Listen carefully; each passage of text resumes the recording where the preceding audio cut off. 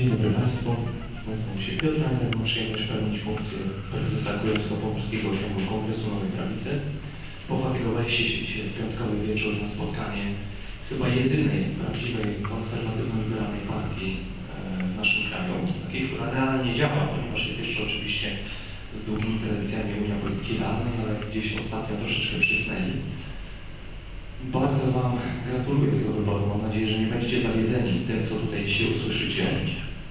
Będzie kilka osób zajmowało głos takich tutaj lokalnych działaczy. Naszym specjalnym gościem jest Pan Michał Marusik, który jest jednym ze współzałożycieli.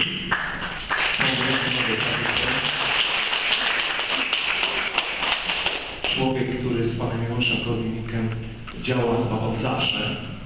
To są tak naprawdę prawdziwi, prawdziwi rycerze, bo może żołnierze to nie są prawdziwi rycerze prawicy w Polsce. Na pewno mnóstwo ciekawych słów dzisiaj padnie, dlatego ja na początek nie będę tutaj za bardzo Państwa zanudzał. Oddam głos na kilka słów prezesowi bydgoskiego oddziału Markowi Jarzyckiemu, a później będzie okazja raz posłuchać Pana Michała, no a dwa mam nadzieję, że pojawi się mnóstwo pytań, ponieważ wykorzystajmy ten czas i przede wszystkim to, że nie ma tutaj dzisiaj tłumu, żeby każdy miał okazję zapytać o to, co go faktycznie interesuje.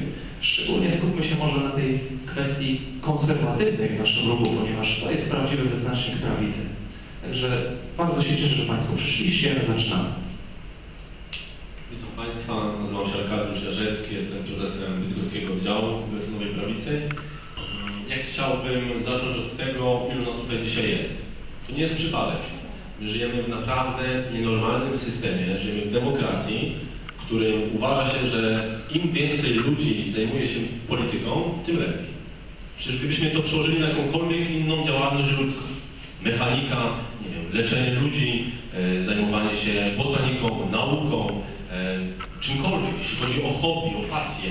Przecież nie ma jakiejkolwiek dziedziny, o której moglibyśmy powiedzieć, że wszyscy powinni się nią zajmować. To dlaczego polityką mają zajmować się wszyscy? To jest absolutnie nienormalne. Normalnie jest tak, kiedy każdy czuje, że w czymś jest mu lepiej, a w czymś gorzej i zajmuje się tym, czym jest mu najlepiej. Mamy takie możliwości. E, dzięki, dzięki temu rozwojowi, który udało nam się osiągnąć, e, w tej chwili e, można zajmować się naprawdę bardzo wysublimowanymi formami e, i hobby, i e, zawodowymi.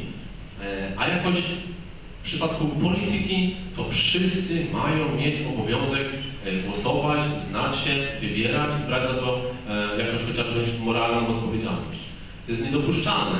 Wybieranie takiej presji na obywateli, e, jak choćby słynny spot e, pani Moniki Brodki, która tak naiwnie, całkiem naiwnie zachęcała do tego, żeby głosować. Jeżeli ktoś sam nie czuje, że on chce głosować, to najgorsze, co można zrobić, zachęcać go do głosowania.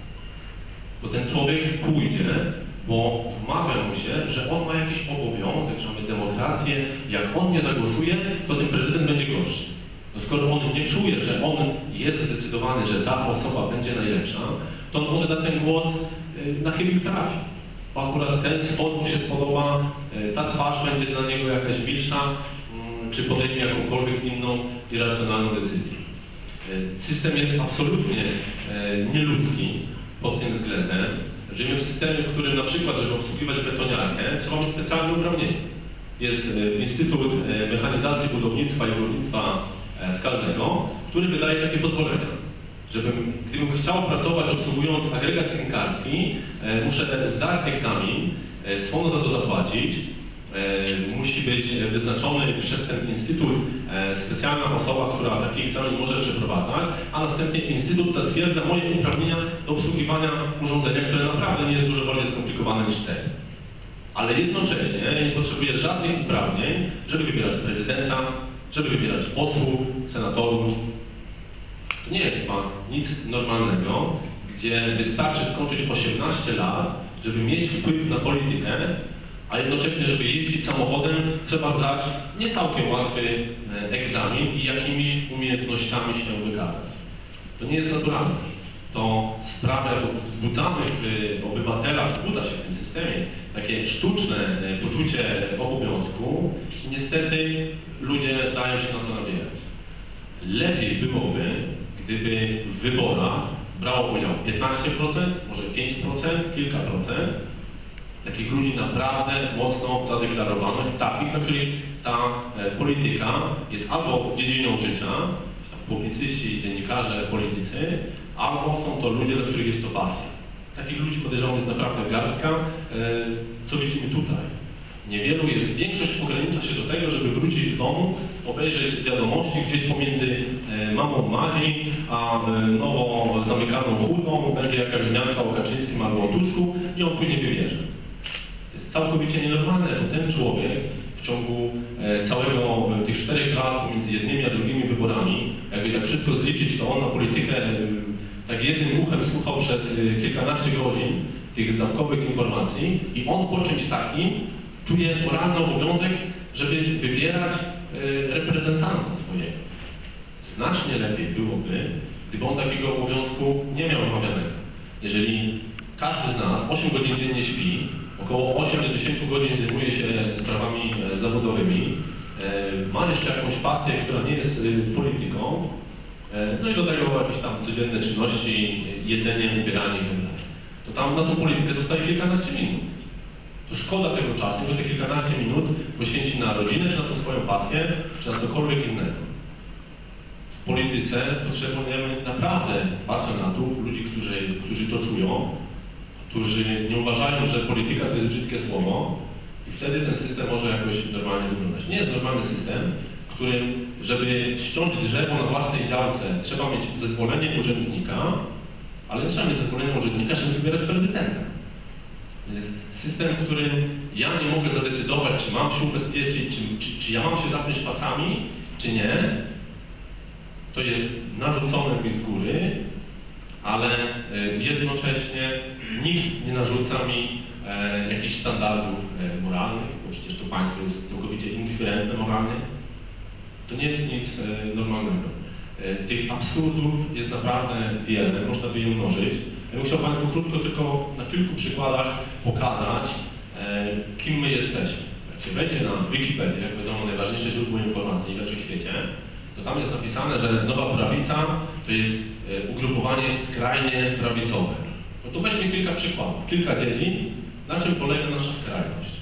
Jeśli bierzemy e, wszystkie partie, które rządzą w całej Europie chyba, e, to one uważają, że człowiek na przykład w Polsce e, ma 7 lat, musi iść do szkoły, jak ma 18 lat, to dopiero może skończyć naukę. A my uważamy, to, to jest naturalne, my uważamy, że każdy rodzic, każda rodzina sama najlepiej zna swoje dziecko, że ona wie, czy jak chłopak czy dziewczyna nie jest zdolny, to lepiej w wieku 13-14 lat posłać go na przyuczenie do zawodu, niż ma po raz e, siódmy czy piąty omawiać historię starożytności, czy, czy uczyć się mapy geograficznej świata, albo po raz kolejny wpływać 16 województw, on i tak nie będzie pamiętał, jego to nie interesuje. Nasza skrajność to jest skrajność, kiedy my dajemy ludziom wybór. Inna dziedzina, jeśli chodzi o ubezpieczenia, e, gdzie teraz ja muszę być ubezpieczony w chyba najgłupszym systemie emerytalnym świata, e, w którym ja wiem, troszeczkę na ten temat czytam, ja wiem, że ja już nie dostanę na pewno emerytury, ale muszę. I to nie jest skrajne. Skrajne jest wtedy, kiedy mówimy, żeby każdy wybrał sobie taką polisę, jaka mu odpowiada. Przecież my nie zabraniamy nikomu się ubezpieczać. Ktoś chce, będzie miał 7, a zdarzą się, będą zdarzali się tacy, którzy stwierdzą, że oni mogą zaryzykować, oni mogą się nie ubezpieczyć i ich sprawa. My nie uważamy się za takich geniuszy, którzy jak y, wejdą już do parlamentu, to my zmienimy system i my y, dla 30, ponad 30 milionów obywateli wymyślimy lepsze ramy, że nie będzie, będzie od, 6, od 6 roku życia do 15 albo od 9 do 28, nie. Więc gdzie tutaj jest skrajność? Proszę się zastanowić. Czy nie jest skrajne narzucanie innym swoich wydumanych całkowicie e, poglądów na temat tego, jak powinna wyglądać edukacja? Bo nie wiem, czy Państwo wiecie, ale nie możecie uczyć dziecka e, tego, czego Wy byście chcieli dla niego. Jest taka możliwość, jest taka furtka, żeby dziecko zostawić w domu, nie posyłać do tych, e, do tych szkół, które, które w dużej mierze są mnożą tą degrengoladę, których są całkiem, całkowicie nienaturalne warunki.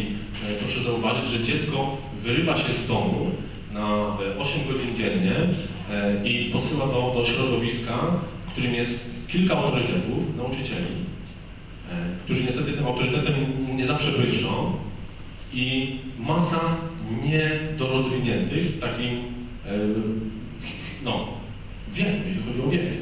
Są osoby niedorozwinięte, jesteśmy dziećmi, e, mamy się uczyć, no ale? Przecież na lekcji to nam mówią nudne rzeczy, a na przerwie to przecież nie nauczyciele mówią, jak się zachowywać e, wobec dziewczynki, e, jak, e, jak prowadzić jakąś kulturalną rozmowę, tylko przebywa się, o, będąc otoczonym dziesiątkami setkami tak samo nierozwiniętych osobników, jak to dziecko. No to jak ono ma się kształcić? No skąd ono ma czerpać te wzorce?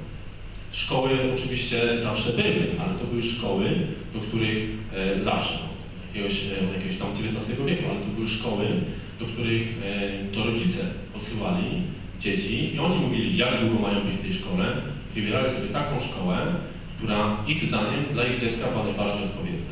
Więc jak już było widać, że dzieciak przez dwa lata tej matematyki to się ani się nie garnie, ani nie umie, jeszcze przy tym płacze, no to lepiej go posłać do humanistycznej szkoły, czy bardziej humanistycznej klasy i nie ma sensu, żeby on na siłę uczył się e, zadań, rozwiązywać zadania chemii.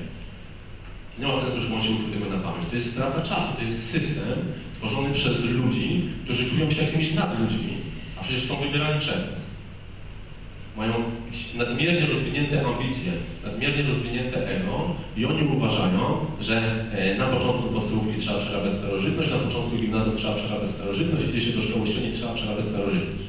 Tak sobie wymyślili, inaczej nie można. Jeżeli zostawimy dziecko w domu i powiemy, że my chcemy dziecko uczyć po naszemu, to przynajmniej raz do roku, a zazwyczaj dwa razy do roku, trzeba iść do szkoły i zdać państwowe egzaminy. Mimo, że już zostawiliśmy to dziecko w domu, bo ono tej matematyki nie lubi, to co rok ten nasz dzieciak musi zaliczać państwowy, wymyślony przez e, ludzi z przerośniętym ego mm, państwowy egzamin.